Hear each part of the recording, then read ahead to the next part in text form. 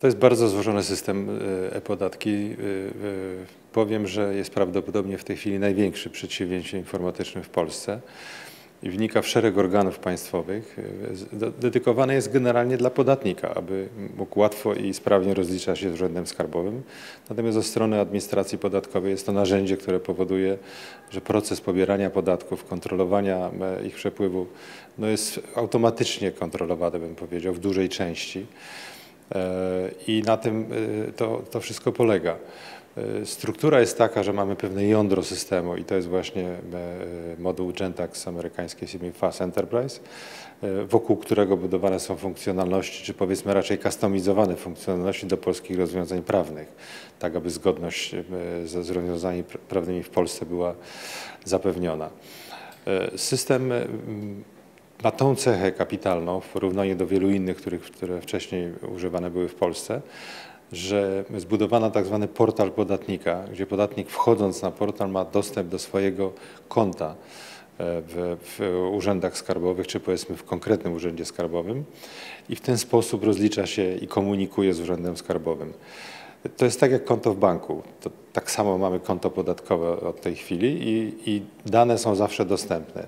Ciekawe również jest to, że poprzez ten portal podatnika e, podatnik ma dostęp do swojego konta z dowolnego miejsca. Nie musi się zgłaszać w konkretnym urzędzie skarbowym czy logować się do konkretnego urzędu skarbowego, czyli na stronę konkretnego urzędu skarbowego, tylko tylko loguje się e, poprzez portal podatnika do swojego konta podatkowego. I to jest kapitalne, ma to znaczenie, ponieważ to można zrobić z dowolnego miejsca na świecie. Nie trzeba być przywiązanym do konkretnej lokalizacji związanej z urzędem skarbowym. Ten system już teraz, ale i docelowo będzie miał interfejsy do wielu instytucji w Polsce, jak Narodowy Bank Polski, jak ZUS, jak KRUS, jak te, wojskowe kasy e, rentowe i to wszystko będzie, e, te dane będą kombinowane czy, czy weryfikowane w jednym systemie.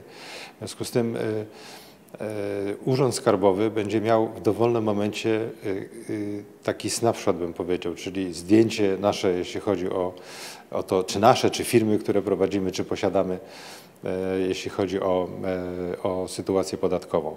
Mało tego, ponieważ to jest weryfikowane z danymi w wielu innych obszarach, e, w związku z tym bardzo łatwo czy powiedzmy znacznie łatwiej niż do tej pory będzie można wyłapywać różne nieprawidłowości i w porę reagować. To szczególne znaczenie ma w przypadku podatku VAT, którego realizację właśnie rozpoczynamy i zgodnie z planem powinien być zakończony na koniec bieżącego roku. I wówczas e, rozbudowując to o konkretne moduły badające e, przepływy finansowe, zwroty i tak będzie można walczyć z oszustwami podatkowymi, używając pewnych algorytmów matematycznych, które wyłapują, czy, czy, zwiększ, czy powiedzmy wskazują na wysokie prawdopodobieństwo powstawania tego typu nieprawidłowości. W związku z tym urząd będzie miał znakomicie większą kontrolę nad tym, co się dzieje w, w obszarze podatków i poboru podatków. Natomiast podatnik będzie miał dużą elastyczność w komunikacji z Urzędem Skarbowym czy z organami administracji państwowej. Najważniejsze jest tak zwane UBD, czyli, czyli taka uniwersalna bramka dokumentów. Chodzi o to, że użytkownik, podatnik, kiedy wchodzi na, na portal podatkowy, otwiera swoje konto i chce się rozliczyć, złożyć deklarację, to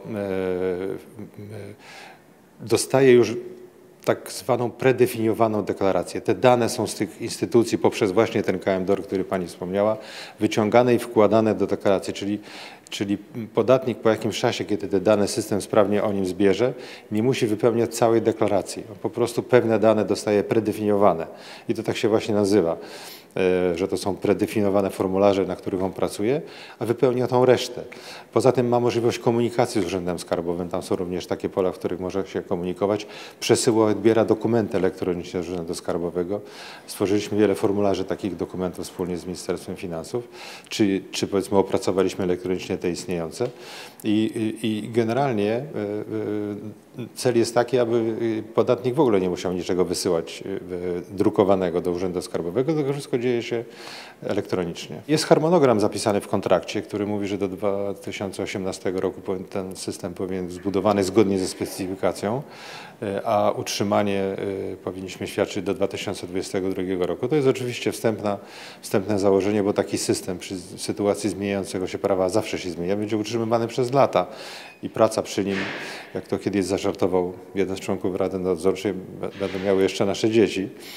E, To oczywiście przerysowuję mocno, ale ten system będzie żył i praca przy nim będzie trwała bardzo długo.